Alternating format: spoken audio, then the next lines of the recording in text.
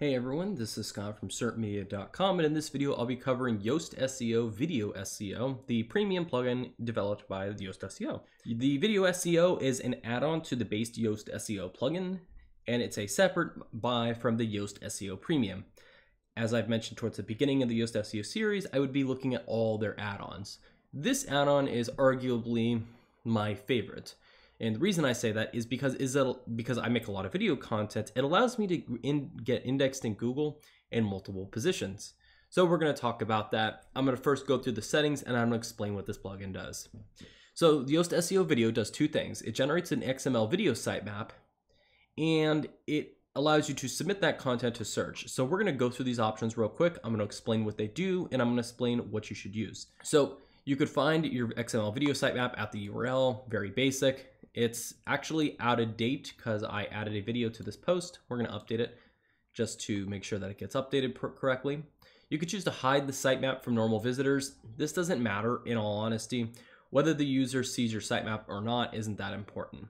You could disable your media RSS enhancement, which basically just includes the video markup in your RSS. I, there's not really a situation when you need to do this unless the content that you're writing is not supposed to include videos in the RSS feed, in which case you could disable it. If you're using advanced custom fields or an advanced or just custom fields in general, and you have the video included in a custom field, you need to include the custom field in this section so the plugin can search for the video to get the data from it.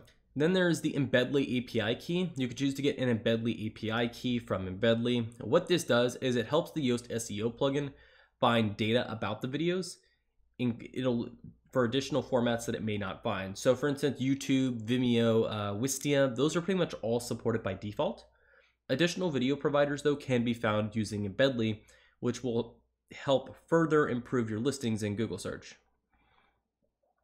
Under the embed settings, you can choose to allow videos to be played directly on other websites. So if you're on Facebook or Twitter, this will allow videos to be embedded in those preview windows so that way they can be clicked and viewed natively as opposed to being taken to like a featured image and then they click that image to then see the video.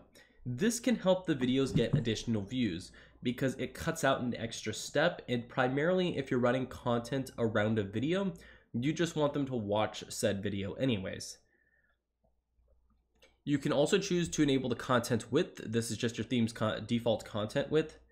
If there's an empty setting, a value will be inserted to make sure the videos that are embedded correctly. And if you have Wistia and you have a custom domain in Wistia, you have to set the custom domain here so that way the video's data is pulled in correctly. For the post types for which the video SEO plugin is enabled, primarily I recommend enabling it for the posts and the pages. You shouldn't really do it for media because those are not going to be an available post type anyways. Frankly, I would almost suggest that Yoast SEO disables this option because it should tie into the search appearance settings, which most of the time you're redirecting it anyways. You could choose to include taxonomies. So if you have a video on a taxonomy archive, for instance, you can allow that to be enabled, but I wouldn't really find many use cases when you'd want to use this. After all that, you'd want to hit the save settings, save changes. And then there's the indexation of your video content. If you have a website that's already existed prior to you buying this plugin, you're going to have to go through a forced reindexation of already indexed videos. And this will just help it go through all the content to find any videos and make sure that it, nothing is being missed. And then you're going to go back to the video SEO settings. And now if you go to your XML sitemap, it now detects that video that I uploaded onto that post. Now that we've done that, we're gonna go to the post and describe just generally how this works. So I copied and pasted one of my latest videos into this post right here. And the data is being pulled from that YouTube embed, as you can see. And that is what's being used to generate this little thumbnail and the duration data as well as the publication date of the post. This is not the publication date of the video. This is just the publication date of the post that it's in. And it also tries to pull tags from the tags that you add to said post. So I could add a tag just as a test. And if I go back to my XML sitemap, the tag should be listed out when it reindexes.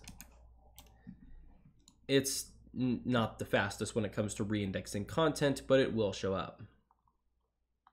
So the biggest question I always get asked is, why do I need this? And that's something that when I first got the question, the plugin, when I was thinking about the plugin, I wondered why I needed it. And I primarily am a developer and then I write blog content, but I'm doing a lot more videos as you can see on the channel. So when I write my blog post, I almost always try to incorporate the video that I have talked that I've made for the subject that I'm discussing. And I could never show up in the Google video search. And for what you don't know, if you're in Google, the video search is this little videos tab. My YouTube videos did show, but I never got listed on my website in that section for the video that I was writing about. But with this plugin, it allows you to be indexed in this section. So for instance, I have how to configure the heartbeat control plugin for WordPress. And as you can see, it's from sertmedia.com, not YouTube. The WordPress tutorials tag is right here, and it includes a description. It says it was added five days ago and it was uploaded by SERT Media. And you can tell that this is correct because when you go to the post, you're going to be, it's going to show you the post content and it's going to show you the YouTube embed. So I'm basically getting the benefit of being able to be indexed twice for the same search result. And you know that this is how this is working because if you look directly for the URL in Google search, as you can see, I'm being listed under this option as well. How to configure the heartbeat control for WordPress. So I'm being listed in two separate positions in search for the same content. I also get the added benefit of being listed not only in the YouTube search for the same video, but I also get the advantage of being listed in the video section for the same video. As you can see, the heartbeat control, I have the video right here, heartbeat control, the complete guide. And then I have the one that's on YouTube titled Heartbeat Control Tutorial 2020. So I'm basically allowing myself to get twice as much video exposure by writing content around the videos that I'm making and to appear in search results twice. This is useful because oftentimes the users are looking for specific types of content. In YouTube, the user who looks for my video, for instance, is oftentimes being is looking for tutorial, while oftentimes in regular Google search, I find that how-tos outperform that oh, out to they outperform tutorials in the Google search results. So what I've done here is I started my my blog post is how to configure the heartbeat control for WordPress, and in the YouTube search, I did heartbeat control 2020. So I included the year and I included the, the word tutorial, and then after I included the how to set up the heartbeat control. So I get the advantage of being able to promote my videos effectively in two different locations in video search, while also just expanding my reach for my general website traffic. So this is a really good extension. And even though my blog posts on my website aren't, there's not that many that have videos, it's just useful to be able to rank in two different positions, including in regular video search, for the same video. Now, there is nothing inherently wrong with this method, and in fact, it's useful to the user because I'm providing good content in two different spots, which allows them to read a either a longer form text post or it allows them to simply see a shortened video on YouTube that allows them to get great content. This is, as I said, my favorite version of the Yoast SEO add-ons because if you write a lot of, if you make a lot of video content, this is invaluable to you. And this plugin I think starts at $69 a year and the regular premium plugin starts at $89 a year. And then probably out, when i come to renewal they'll give me some kind of discount for renewing. I highly recommend this plugin. It's well worth the money. If you make video content if you don't make video content then i would not get this this add-on. The reason for that is if you're not making video content but you embed content on from youtube in your post you're getting extra video promotion for videos that aren't your own and nobody's going to be viewing the video search in in Google search to just find your blog post. It's something to keep in mind. If you're trying to drive traffic to your own videos, this is very useful. If you're just trying to drive traffic to your blog post and you're up in the air whether to spend the money on it, you're probably better off with just not buying it. But let me know your thoughts in the comments below. If you disagree with me, I'd love to hear it. And if you have a specific UK use case where you're using this add-on, please feel free to comment below.